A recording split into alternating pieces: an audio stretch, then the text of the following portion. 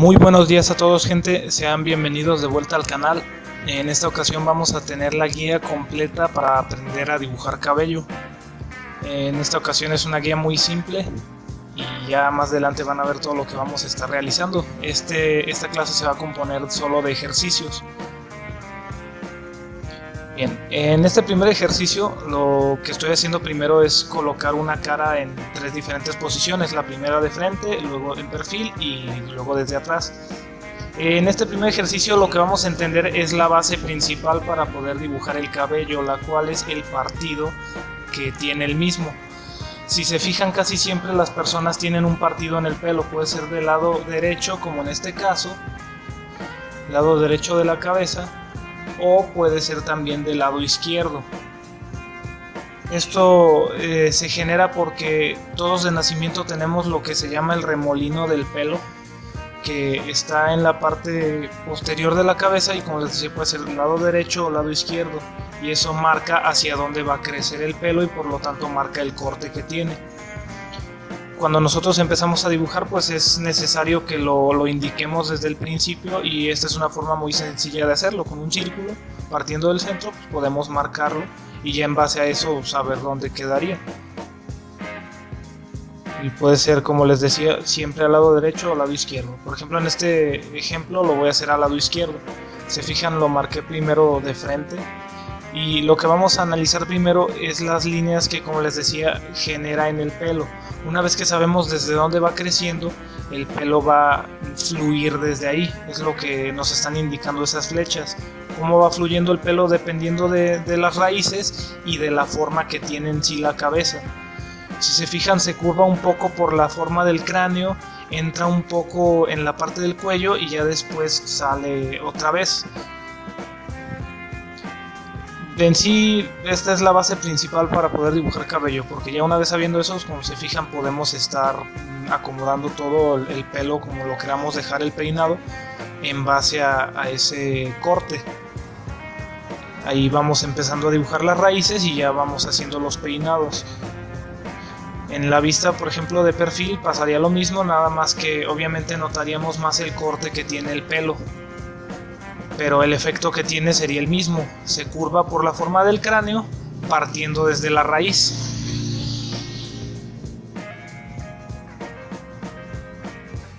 La parte de atrás pasa lo mismo, nada más que en la parte de atrás alcanzaríamos a notar más del remolino que les comentaba, que casi siempre se ubica en, en donde se están juntando todas las líneas del pelo, ahí es donde se ubica el remolino. Igual, la base, como les decía, es, solo el círculo de donde vamos haciendo todas las líneas. Si se fijan, todas salen de la misma línea de la raíz en diferentes direcciones. Entendiendo eso, pues ya podemos realizar el cabello. El primer ejercicio, si quieren pueden poner pausa para que lo copien y pasamos al siguiente.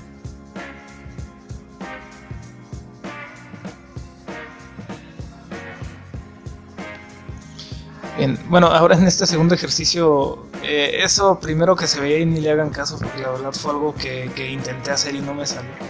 Lo que quiero demostrar aquí es un poco de lo que va pasando con el pelo cuando se va alargando. Si se fijan tenemos el mismo círculo que el ejemplo anterior y ya conociendo las líneas de cómo va a fluir el pelo lo podemos ir acomodando en base a nuestra raíz, al corte que ya marcamos que debe de tener. Obviamente ya por ejemplo cuando el pelo es más largo también influye el viento, influye el movimiento de la persona, pero siempre fluye hacia la raíz. Hay veces que tenemos peinados en los que no vemos el corte del pelo, por ejemplo un peinado hacia atrás en el cual el corte está tapado, pero pues en este caso nuestro corte para poder tirar las líneas serían las raíces que hay del pelo sobre la frente. Si se fijan, eh, marcando las flechas, podemos entender el movimiento que tendría el pelo y empezar a dibujarlo. Es, exactamente lo mismo que en el ejemplo anterior, nada más que en lugar de tener el corte, usamos las raíces que hay en la frente y el pelo. Otro ejemplo más. Realmente cuando nosotros dibujamos pelo pues no hay, no hay mucho una base muy grande que seguir. La única base que, seguimos es la de la raíz y, el corte que le queramos dar. Por ejemplo, en este otro peinado el corte está al centro, no es un corte natural. que como vimos los cortes solo pueden ser de los lados, pero igual se puede tener un peinado en el que el corte esté dado al centro y haríamos lo mismo, de ahí empezar a tirar las líneas del pelo siguiendo las flechas que nos marca la forma que tiene el cráneo. Se fijan, siempre voy a ir marcando las flechas para que se vea cómo va fluyendo el pelo.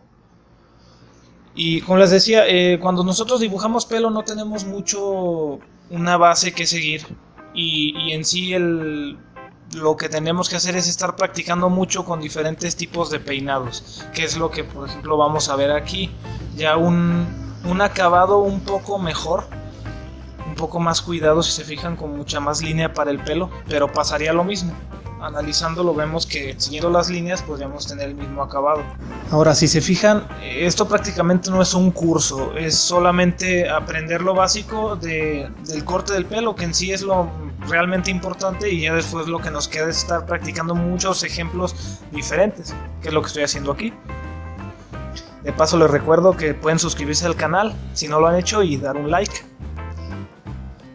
Ahora, por ejemplo, este otro ejemplo, valga la redundancia, vemos el mismo caso, cómo van fluyendo las líneas dependiendo de dónde hagamos el corte y igual, lo que pueden hacer siempre en los ejemplos que quieran realizar es lo mismo, ir haciendo las flechas y, y, realmente darle la forma que tiene que tener el pelo dependiendo de la fluidez.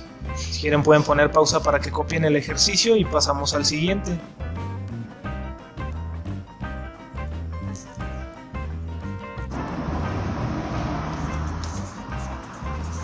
Bien, ahora algo que sí cabe destacar que es realmente importante también cuando dibujamos pelo es el foco de luz. El foco de luz va a ser lo que nos va a generar, como su nombre lo dice, las luces que tiene el cabello. Nosotros tenemos una fuente de luz, nos genera eh, rayos de luz en todas las direcciones de igual forma. Entonces, dependiendo dónde estemos colocando el, el cabello que vamos a dibujar, la luz le va a llegar de diferentes lados y va a tener diferentes brillos. Por ejemplo, aquí de manera rápida estoy dibujando una peluca y lo que vamos a notar en, el primer caso donde pusimos nuestro foco de luz rojo, vamos a ver que en este caso a nuestro dibujo la luz le va a llegar desde arriba, entonces la luz va a estar en la parte de arriba de la cabeza y va a ser lo más luminoso del pelo. Todo lo que se vaya alejando de esa fuente de luz va a ser un poco más oscuro. Lo que quede completamente a espalda de la luz va a ser eh, negro. En este caso, por ejemplo, la, punta opuesta del foco de luz, si se fijan, es lo más oscuro del copete que vendría estando en la parte de la frente. Lo que se esconde de la luz, como ya habíamos dicho, es completamente negro, que sería ese lado del pelo que queda oculto. Igual, el otro lado podría de vez en cuando tener alguna otra luz que le llegue de otro lado, pero sería mucho más oscuro que la parte de arriba de la cabeza. Eso sí, hay que tenerlo siempre muy en cuenta, cualquier pelo que dibujemos va a ser así. Dependiendo de dónde nos llegue la luz vamos a tener diferentes intensidades de luz, intensidades de sombra y son en base siempre a esto. Ahora, por ejemplo, si tomamos un mechón de pelo, veríamos exactamente lo mismo. En este caso, si se fijan con las flechas que tenemos del foco de luz, desde dónde nos va a llegar, empezaríamos obviamente las orillas, que son lo más lejano, a ser las más oscuras. Pueden llegar a ser negras y ahí vamos degradando la sombra hasta que lleguemos a las zonas de luz que son lo que está más cercano a nuestra fuente de luz. Aquí, por ejemplo, con el carboncillo empecé a hacer muchas líneas para más o menos ir empezando a hacer la forma del pelo y conforme me acercaba a las orillas lo fui oscureciendo, por lo que les decía, como es lo más lejano, pues es lo que tiene que estar más oscuro. Tanto lo que habíamos hablado en los ejemplos anteriores del corte del pelo y la raíz y esto de la luz son los pilares fundamentales cuando nosotros queremos dibujar pelo. Entendiendo estas dos cosas, prácticamente ya, ya entendimos todo y lo que nos restaría es practicar. Ahora, por ejemplo, este tercer ejemplo, igual tenemos el mismo foco de luz y se fijan ahí la flecha nos indica dónde le va a pegar directo. Como es un copete, eh, casi siempre, por ejemplo, es peinado con gel, es muy brilloso, entonces la luz prácticamente se va, a ver blanca sobre, sobre donde llega en el pelo. Y como dijimos, los lados son más oscuros, todo lo que se aleja. Aquí, bueno, ya no voy a tomar como ejemplo el foco de luz. Ya en este último ejemplo vamos a tomar como si la luz nos llegara de frente a la cara cuando nos llega de frente a la cara tenemos que obviamente el pelo que está en el copete, todo el pelo de la frente es lo más cercano. Casi siempre son las zonas con más luz. Si se fijan, más o menos a lo largo de todo el pelo voy a dejar una línea de luz que es precisamente por eso, como el foco de luz está frontal, pues es, es, la zona donde tenemos más iluminación en el pelo y ya nos quedaría ir oscureciendo las orillas. Igual, por ejemplo, hay partes de, de lo que viene siendo el, la raíz del pelo que también son más oscuras. Ahora, aquí lo que voy a hacer es, si tomáramos una parte de, de ese ejemplo que hicimos, una parte del mechón del pelo y lo aumentáramos como un zoom, lo que veríamos referente a la luz. Si se fijan, hacemos muchas, muchas líneas que venden siendo cada pelo individual. Las líneas más gruesas son los cortes que hay entre mechones. Y ya únicamente lo que nos queda es ir oscureciendo las orillas, lo que les decía, más o menos en el centro es donde está la luz, porque es lo más cercano. Y todas las orillas tenemos que irlas oscureciendo. Ahora, aquí se ve rápido, pero al momento de hacerlo pues es algo tardado porque tenemos que ir dando varias capas. Pero dando unas cuantas ya podemos lograr el degradado de la luz. Si quieren pueden poner pausa para copiar el ejercicio y pasaríamos al siguiente. Bien, como les decía, ya aquí lo único que nos queda es realizar varios ejercicios para eh, ir agarrando mano, tener un poco más de fluidez y entender en diferentes tipos de peinados cómo, cómo se realiza el pelo. Generalmente cuando queremos practicar pelo hacemos pelo de mujer porque obviamente el pelo de mujer casi siempre es más largo, puede ser de diferentes formas, muchos peinados diferentes, puede ser lacio, un poco ondulado, rizado y obviamente para prácticas pues nos sirve más que dibujar pelo de hombre porque el pelo de hombre casi siempre es muy corto y pues, no, no varían mucho los peinados. Por eso estoy haciendo este ejercicio, les recomiendo que hagan la mayoría de, sus ejercicios que sean pelo de mujer y ya si quieren unos cuantos de hombre. Por ejemplo, aquí hice unos cuantos ejemplos. Pero si se fijan, entre, entre más peinados tengamos, pues podemos ver más situaciones diferentes. Pero ya teniendo la base de la luz y lo que comentábamos del corte y las raíces del pelo, pues ya prácticamente tenemos todo aprendido. Lo que nos queda es siempre estar practicando con diferentes ejercicios. Igual aquí hice unos cuantos, pero podemos hacer todos los que queramos. Si quieren pueden poner pausa al ejercicio y pasamos al siguiente.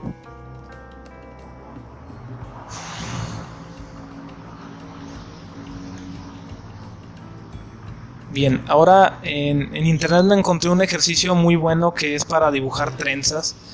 Dividimos en cuatro partes. Si se fijan, la primera hay que hacer un cruzado. Hay que familiarizarnos con la forma que tiene la trenza, que sería en el cruce de esas líneas en el segundo ejercicio vamos a mejorar un poco esas líneas, que nos queden un poco más derechas y marcando siempre el corte del centro. Si se fijan ahí donde convergen todas las líneas, eso es lo, más importante que debemos considerar para poder dibujar la trenza, esa junta del centro.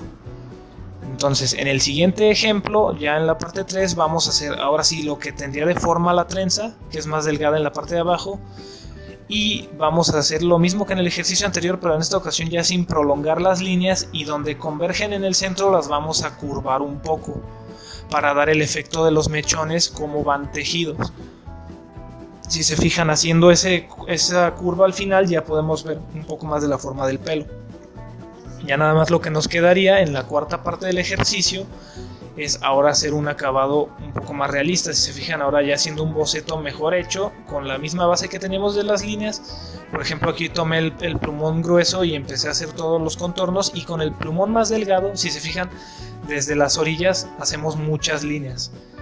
Para lograr que el centro sea más oscuro, igual las orillas de cada lado también sean más oscuras. Aquí sí hay que tener un poco de paciencia y hacer todas las líneas entre más líneas le pongamos, pues va a ser un efecto más realista. Y al final, por ejemplo, podemos poner unos cuantos pelos sueltos. Igual el, resultado es muy bueno y, como práctica, la verdad se me hace que, sirve bastante para, ir viendo cómo dibujar pelo. Si quieren pueden copiar el ejercicio y pasamos al siguiente. Ahora, bueno, aquí vamos a realizar los acabados. Si ya han visto los otros cursos, pues ya más o menos se van familiarizando cómo, cómo me gusta dar los acabados a mí, porque se me hace muy fácil de hacer. Aquí, por ejemplo, voy a hacer un pelo ondulado lo empecé con un lápiz 3B y lo difuminé con el esfumino. Y ya por ejemplo a mí me gusta hacer las zonas más oscuras en el cabello ondulado que las hago con la punta fina del plumón. Y ya por ejemplo con el carboncillo voy dando un poco de degradados siguiendo las zonas más oscuras. Y ya al final por ejemplo con el esfumino lo vamos emparejando. Y por ejemplo aquí con la pluma estoy haciendo líneas más finas para que se note un poco más que es la forma del cabello usando esta técnica mixta es un poco tardado de hacer pero si le dedicamos bastante tiempo el resultado llega a ser muy bueno en este caso no pasó de 20 minutos lo que estoy haciendo porque tampoco quería hacer un video muy largo pero si se fijan aunque no tarde mucho pues ya va dando un efecto más realista como les decía desde el inicio, el dibujar pelo es de mucha paciencia y mucho tiempo. Aquí en este segundo ejemplo voy a hacer pelo lacio y lo voy a hacer solo con pluma porque me sirve para hacer los cabellos más individuales y que se noten más delgados. Lo importante aquí es que como no podemos borrar tenemos que hacer las líneas más perfectas que podamos y tratar de no cruzarlas como es cabello lacio tenemos que hacer casi cada cabello independiente y hay que trabajar la muñeca para poder hacer bien las líneas. Si se fijan cuando hacemos cabello lacio, las orillas tanto de la parte de arriba de la cabeza como de la parte de abajo del pelo son lo más oscuro. Aquí para el final, bueno, estoy haciendo cabello rizado y este lo estoy haciendo solo con lápices de grafito tiene sus pros y sus contras. Uno, un contra sería que no tienes mucho contraste y no vas a poder dar los tonos mucho más oscuros. Un pro es que con el mismo lápiz puedes hacer todo el pelo de diferentes eh, intensidades de luz y diferentes tonos de oscuro. Tratando obviamente siempre de realizar los mechones de cabello rizados y, y hacerlos no tan pegados. Si se fijan, tiene muchas zonas de luz porque se despega los mechones. Como dijimos, para el primer ejemplo que es el ondulado, mm, se me hace que funciona con el carboncillo, el grafito y la pluma y el plumón. Para el ácido solo la pluma y para el rizado puede, puede funcionar el lápiz de grafito y ponerle tal vez un poco de pluma también para que dé un poco más de contraste. Si quieren pues pueden copiar el ejercicio y ya pasamos a las conclusiones finales.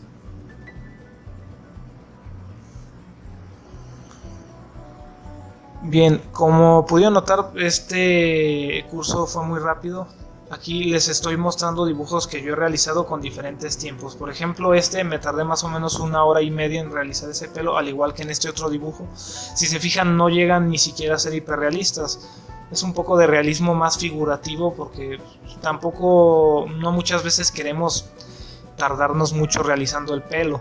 Por ejemplo aquí este ya tiene un poco más de tiempo porque tiene un poco más de luces, pero no llega a ser muy exagerado el realismo.